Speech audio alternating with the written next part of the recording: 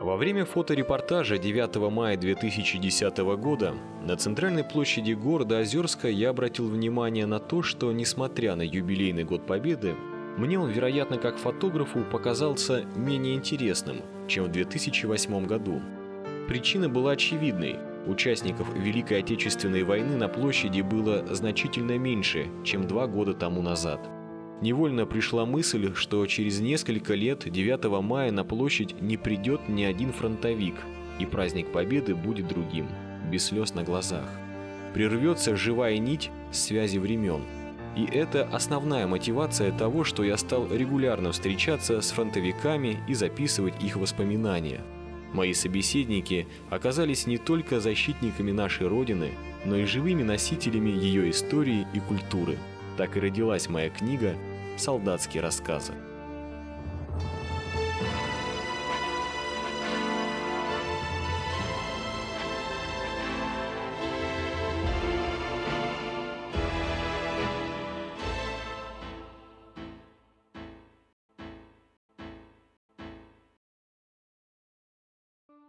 Из книги Николая Дендыкина «Солдатские рассказы». Екатерина Васильевна Халтурина всегда была девушкой с боевым характером, особенно на войне. Сначала на фронт забрали ее мужем. Он вскоре вернулся раненый. Екатерине Васильевне пришлось совмещать работу доярки в колхозе с уходом за мужем-инвалидом и учебой на, на курсах снайперов в районном центре. В 42-м собрали девчонок со всей деревни, сделали им деревянные винтовки и начали обучать метко бить по мишеням. Прежде никто из них оружие, разумеется, в руках не держал а через полгода одели в шинели и отправили на фронт в женский полк. Екатерине Васильевне не довелось стать снайпером. Девушки выдали более массивное оружие и направили в пулеметную роту. Таскала пулемет с 32 килограмма за крошки, я была первый номер. В 42 году была зима, морозно 20 градусов, 28-30 градусов. А мы только позавтракаем, а обувь дали 36 размер сапожки. Вот мы весь день, после до завтрака, до обеда, весь день мы на улице мерзли. Ну, за, за занятия, конечно, гоняли нас. Вот ты что ходишь, не чувствуешь ноги-то, как на палках сходишь. Не ноги, а чувствуешь, а как палки. Потому что все проборожены. 36 размер сапожки. Дальнейшую службу Екатерина Халтурина проходила в освобожденном Смоленске. Девушку направили на охрану секретного склада. В мае 44-го немцы подвергли город массированной бомбежке. В то время, пока снаряды падали на пробудившийся от сна ночной Смоленск, и все жители спешили укрыться в подвалах, молодая пулеметчица не сдвинулась с места. Она не боялась смерти. Екатерина Васильевна не хотела пропасть без вести. Мне сказали бомбоубежище. Я не пошла. Я боюсь, чтобы если меня убьют, значит, меня там не узнают, что я убита. А думаю, я где так убьют, так хоть сообщат домой. Мы, мы сначала прижались к домику, к одному, как это дорога, ну, дорога центральная, машины ходили. И тут какой-то домешка, как сарай. Я прижалась, прижала, прибежала, а там крыши-то нету, только небольшой этот навес.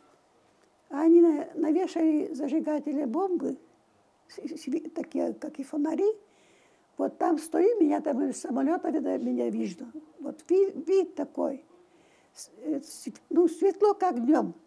Где мне надо было бомбить, они навешали эти фонари.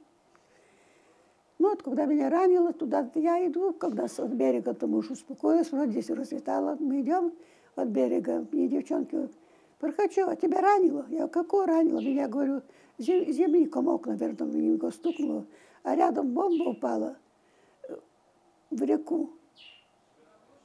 Прямо даже вода колыхалась, близко. И мне вот осколок-то прилетел, мне правда это. Так у тебя как дыра в шинели-то. Я говорю, как дыра? Посмотрели, юбки у меня даже кровь. Я говорю, я говорю, меня это только комком земли ударило, мне не больно сколько. Из книги Николая Дендыкина «Солдатские рассказы». В той бомбежке Екатерина Васильевна получила два осколка в область поясницы. Некоторое время она провела в госпитале. Ехать туда Халтурина не хотела. «Подумаешь, царапина», — говорила она. Лечиться бойца отправили насильно, а после из пулеметчицы пришлось переквалифицироваться в связисты. С этой минуты Екатерина Васильевна ежедневно слышала в наушниках противный свист пуль и снарядов. Наши дивизии тогда продвигались настолько быстро, что нередко в их тылу оказывались разрозненные немецкие отряды. Советские войска в день преодолевали по 30 километров, а то и больше. Также стремительно от фашистов была освобождена территория Польши, а после направились в сторону Берлина. Весь этот путь прошла Екатерина Халтурина в составе 174-го стрелкового полка. Больше всего она запомнила, как солдаты форсировали Одер. За этот переход связистка Халтурина получила медаль за отвагу, что среди женщин-бойцов большая редкость. Еще зима была тогда. Так это, ну как, танки, конечно, не могли проходить.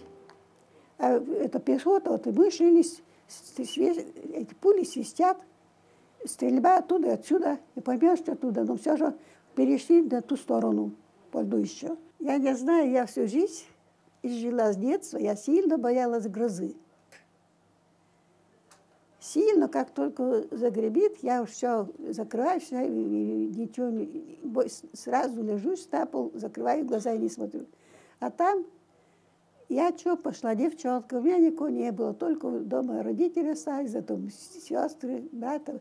Брата убили одного в Польше, другого в Волгограде, в моряк был, привезли с, с Дальнего Востока. У меня никого не было. Я почему-то не думала о смерти, что ну убьют и убьют. Только чтобы домой позвонить, вот ничего знаю. Чтобы домой сообщили. Вот я четко переживала. Однажды на передовой, не выдержав звуков стрельбы в наушниках, сбежал напарник, а юная связистка своего поста не бросила. И до конца боя Екатерина Васильевна обеспечивала связь одна. Над тем случаем она сегодня смеется. Тем более в другой раз, когда Халтурина была на грани жизни и смерти, товарищ Радис боевую подругу спас. Это было ночью, когда советские войска, продвигаясь вперед, неожиданно столкнулись лицом к лицу с немцами. Стрельба началась, а это, ну, который солдат, вот эти радисты шел, мужчина, он это как меня столкнул. Я, я не понимала, что это я так-то, что первый раз такое-то у меня получилось, что ж. Прямо в, лицо стреляет. Он меня как столкнул в канал, ползи давай. А там были немецкие тоже окопы накопаны, там большие. Когда стало светать, то вдруг самолет, зашуршал самолет. Я брала, слава Богу, думаю, в душе это, это молчу про себя, что самолет дальше будут бомбить. Я поглядела, летит с креста немецкий самолет. Он летал, разведку делал, там же эти, э, эти окопы все. Вот он летал в разведку, ну, наши это тоже стреляли, но что, не, не могли сбить. Э, он летал, и потом после этого, вот снаряд летит не так страшно. Он летит где-то, куда упадет, не знаешь. А мина, а с миномета стреляет. Эта мина, она попадает прямое попадание. Она уж упала, значит, она уж падает, то она, значит, куда-то месту. Как то-то пошлось, опять хорошо. Из книги Николая Дындыкина «Солдатские рассказы». Женщины на войне не только не уступали сильному полу в смелости, но и несли все тяготы наравне с мужчинами – к жизни в землянке без малейших бытовых условий они привыкали быстро и никогда не жаловались. Поэтому, когда Екатерина Васильевна оказалась в Германии, где взвод квартировался в немецкой семье, связистке было не по себе. От непривычной обстановки. Впрочем, на мирных жителей Германии обиды, а уж тем более ненависти к ним, бойцы не держали. Уже после войны девушкам захотелось сделать снимок на память. Фотографировались красноармейцы на квартире одного из немцев, а за фотокарточку Екатерина Халтурина честно расплатилась продовольственным пайком. В, в квартире. Ну что, немцы, люди такие же, как люди, только они говорят по своему уж. Не знаю ничего. Ну вот, теперь вот эти... А тут мы фотографировались опять у немца. Это нас двое, что ли. Я одна там есть, фотографируюсь, это тоже у немца. Просто так на улице. Тоже что отдать, ничего не...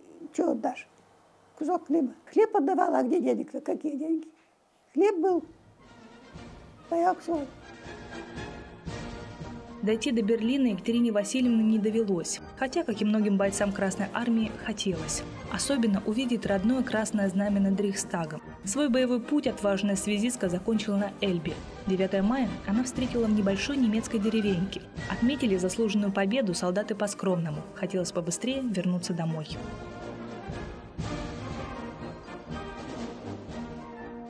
А мы уж тут в деревне в немецкой жили. Там кричали «Победа!» Ну, что, конечно. Как же не радость. А там еще наши-то и воевали еще вовсю. Что, солдаты как отмечали? Ну, покричали, порадовались, и все. А что, как, какая, какая радость? Война кончилась. Домой, которые стали нас и домой отпускать. Которых старших тогда, э, с, с каких годов по оставляли, тогда уж формировали уже части, которые что там остались. Меня так там оставляли, чтобы я работала. Ни в какую не осталось. Работать, просто в части работать. При, при, при, при дивизии, при полку не осталось. Пусть плохо до дома. Из книги Николая Дындыкина «Солдатские рассказы». После войны Екатерина Васильевна Халтурина выбрала более мирную профессию.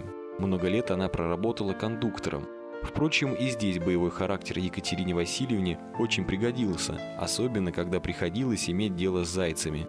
Сейчас отважной связистке 94 года. Она по-солдатски держит осанку, в войне с годами явно побеждая. При каждой встрече с Екатериной Васильевной я невольно вспоминаю знаменитое Некрасовское «Коня на скаку остановит, в горящую избу войдет», и не перестаю удивляться внутренней силе и красоте простых русских женщин.